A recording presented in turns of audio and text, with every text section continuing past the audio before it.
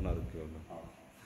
እሺ ሰላም እንዴት ናችሁ? ዛሬ የምናሳያችሁ ደግሞ አንድ trainer module እንዴት መጠቀም እንችላለን፣ connect እናደርጋለን የሚለው ነው። ይህንን trainer module የምትፈልጉ ከሆነ contact አድርጉን። በዚህ መልኩ ሰርተን እናቀርብላችኋለን። ሌላ የምናሳያችሁ ዛሬ ይኸው እዚህ ጋር ያለ ባትሪ ቻርጀር አለን። ይሄ የምንጠቀምበት እዚህ ጋር ውስጥ ላይ እንደምታዩት ከስር ባትሪ አለን። ያንን ባትሪ ቻርጅ ለማድረግ የምንጠቀምበት ነው። ከ AC ይወስድና ባትሪያችንን ቻርጅ ያደርግልናል።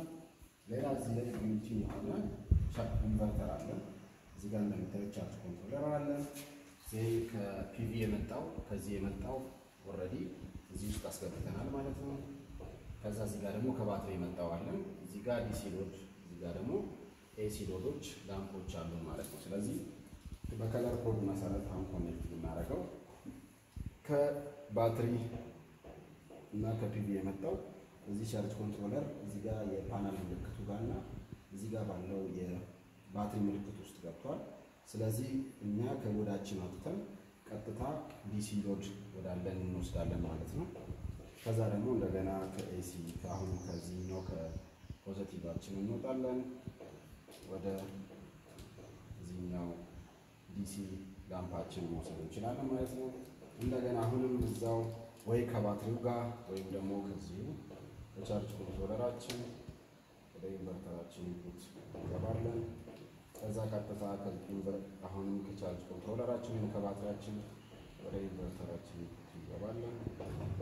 ከዛ ቀጥታ ከዚህ የወጣው ደግሞ ከ inverter አችን output ወደ AC load አችን እንደገና አሁንም ከ inverter አችን output ወደ AC load lamp አችን እንሄዳለን ማለት ነው።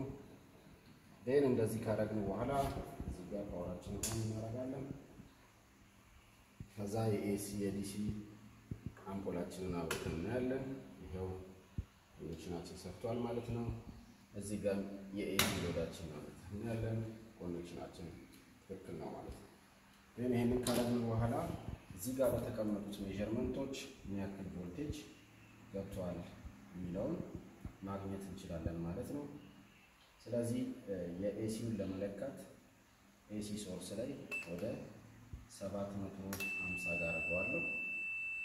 750 volt ይጠፋለሁ።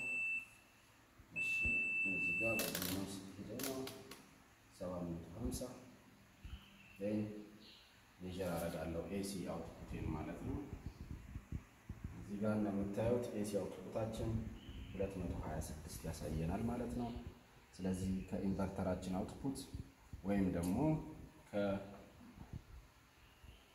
ከ load አችን ላይ ያለውን ይዘን measure ማድረግ እንችላለን ማለት ነው። እዚህ ጋር እንደምታዩት 226 ይላል።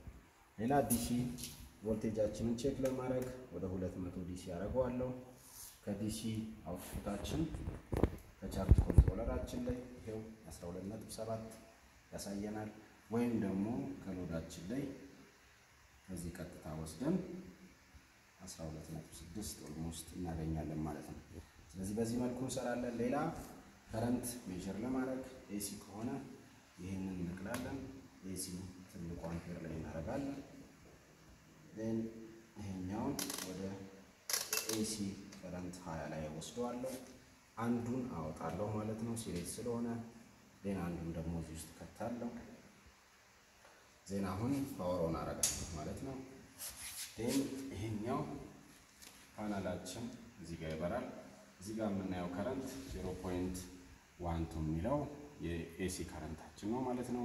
በተመሳሳይ የ DC current አችንን ለመስራት power off አረጋለሁ። ወደ DC current ሀያ አረገዋለሁ። ይሄን ወደ ቦታው መልስና ቀጥታ እዚህ ጋር ያለውን አወጣለሁ። ይሄን አንዱን እዚህ ከታለሁ፣ አንዱን source ሰጠዋለሁ ማለት ነው። ስለዚህ አሁን on አደርጋለሁ።